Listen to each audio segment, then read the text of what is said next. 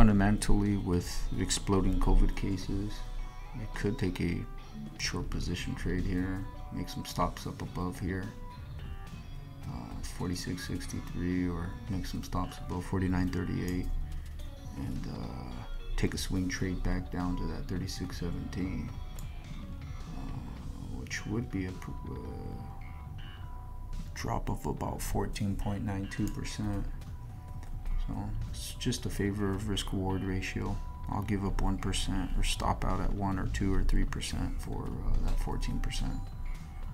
So, but we got negative divergences that have been developing across the board. And if you go to the weekly, we've uh, we've got some pretty big resistance. Whether this is bullish or not, but we've we've uh, break above would be bullish, but meantime, resistance is uh, resistance.